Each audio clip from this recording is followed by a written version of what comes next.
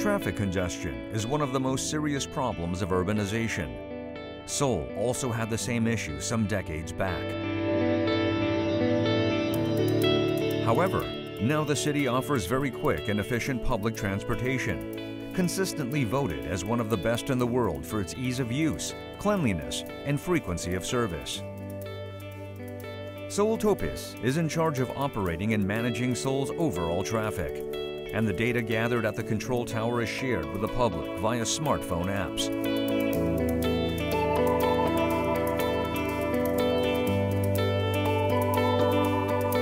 Using cutting-edge IT technology, this integrated traffic information helps clear heavy traffic, avoid sudden traffic issues, and offers real-time traffic information to the public.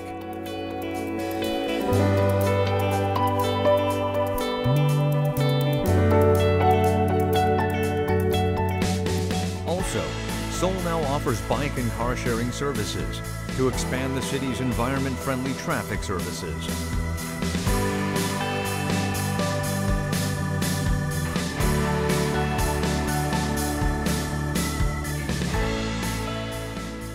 Transportation is one of the biggest problems in developing countries.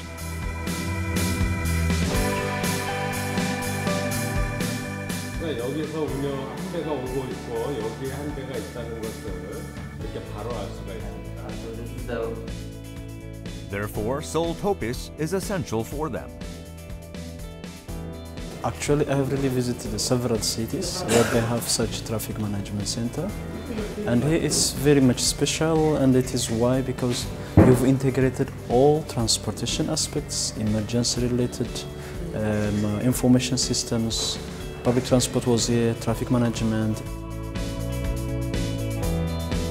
The capital city of Ethiopia, Addis Ababa, has been growing by an annual average of 10% in recent years.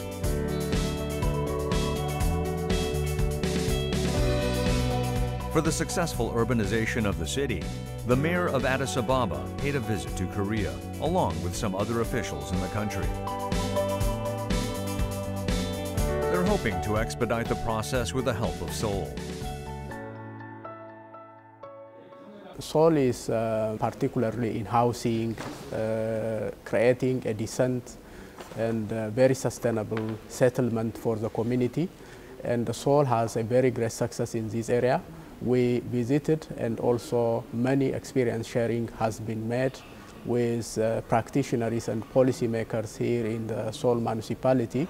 And uh, so the experience of Seoul, the best practice of uh, Seoul city is, is very important for Addis Ababa. People can go anywhere using public transportation.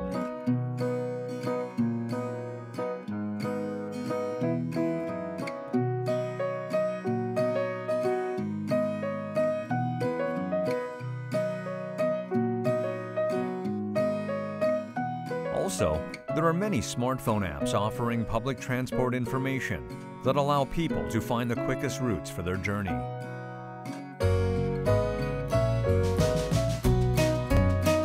And environment-friendly transportation is gradually expanding.